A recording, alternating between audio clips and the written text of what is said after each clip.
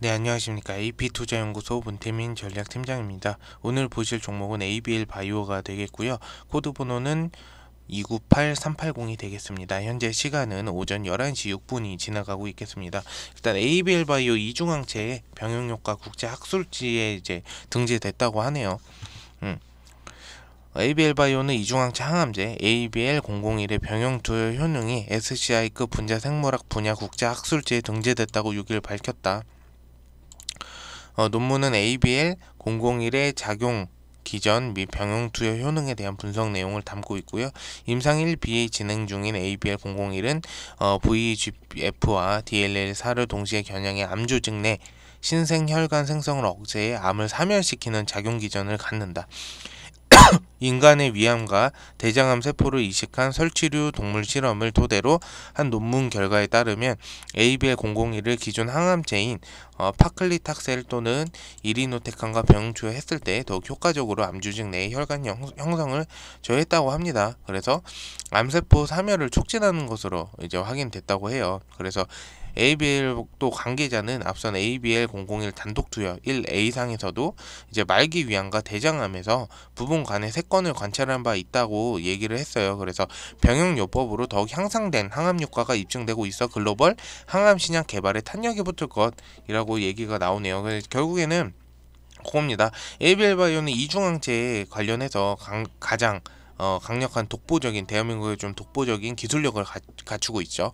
그래서 기술 수출도 다섯 건 한 사례가 있고 그리고 음, 이중항체 관련해서 또 발표를 하는데 어, 1월 11일 날 또 발표를 하잖아요. 근데 어, 저는 좀 굉장히 긍정적으로 좀 보고 있습니다. 어, 좀 기대도 굉장히 크고 어, 충분히 이, 어, 좋은 성과로 기술 수출로 이어질 전망이 높다라고 좀 보여지거든요. 그래서 ABL 바이오 어, 면역항암 이중항체 미국 FDA 임상 신청했다고 하네요.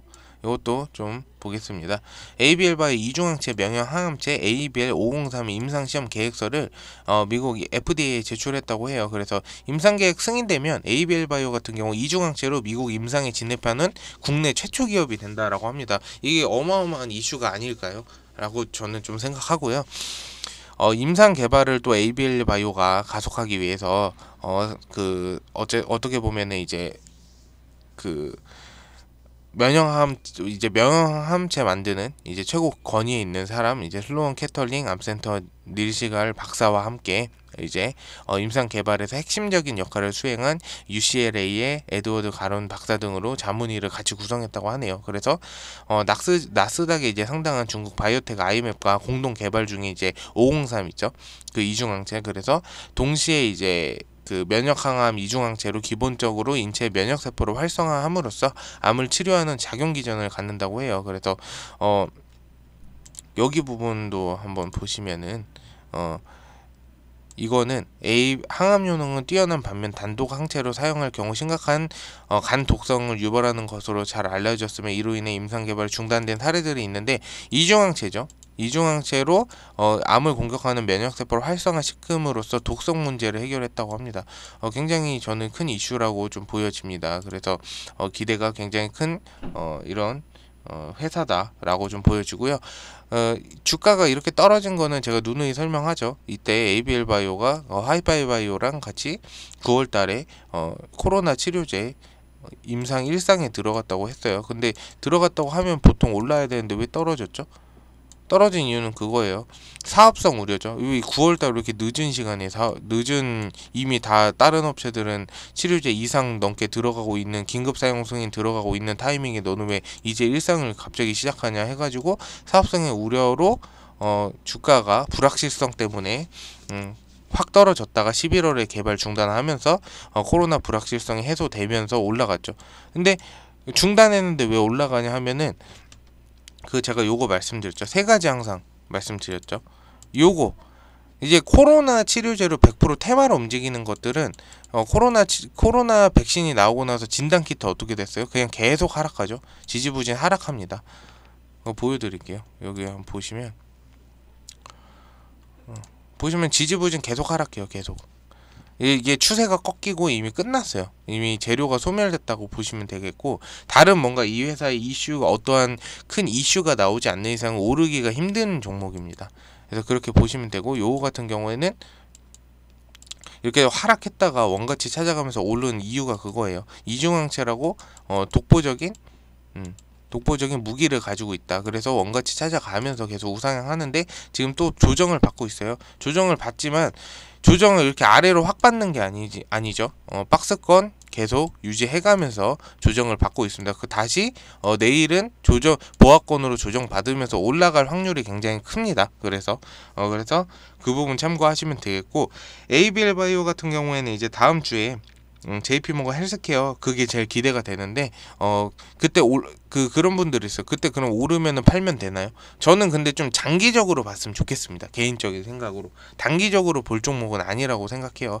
아니면 이렇게 좀 올랐을 때 어느 정도 매도해서 차익 실현한 다음에 다시 어 뭔가 확정이 되면 떨어지기 때문에 떨어지면은 저는 근데 오히려 그 기술 수출 기대감 때문에 더 오를 것 같거든요. 개인적인 생각으로. 그래서 그거를 좀 참고하셨으면 좋겠고 어쨌든 어, ABL 바이오는 제가 지속적으로 방송을 좀 도와드릴 거고요. 좀 어, 도움이 되셨다 면 좋아요와 구독 한번 부탁드리고 궁금하신 사항 댓글 남겨주시면 제가 댓글 통해서 다음날 방송 때 항상 답변을 드리니까 궁금하신 분 좀 디테일하게 답변 남겨주셨으면 좋겠습니다. 어쨌든 오늘 방송 고생 많으셨습니다. 감사합니다. 자 그리고 네이버에 AP 투자 연구소 를 검색을 하시면 이 밑에 어, 상단에 AP 투자 연구소 클릭을 하세요. 클릭하시면은 여기 라이브 라이브에 보시면은 어, 무료 추천 종목이라고 있어요. 그래서 무료 추천 종목 이렇게 누르시면은 음, 밑으로 이제 상단을 내려 보겠습니다. 이렇게 내려 보시면은 뭐 이런 식으로 1월 4일 무료 추천 종목이라고 나옵니다. 그러면은 클릭을 하셔서 들어가시면 이렇게 1월 4일 월요일 무료 추천 종목 실시간 댓글 leading 뭐 이런 식으로 나옵니다. 그러면은 들어가셔가지고 이제 소장님이 이렇게 자기 소개를 해, 해주시고요. 그리고 추, 소장님이 매일 이제 세 종목 정도씩 항상 추천을 해주세요. 그래서 어, 당일 9시부터 장 시작 후 진행을 합니다. 그래서 밑으로 쭉 내려 보시면 어, 요런 이제 다우 다우 지수나 이제 나스닥 미국 지 어 이제 주가 어 지수 이렇게 설명을 항상 해드리고요.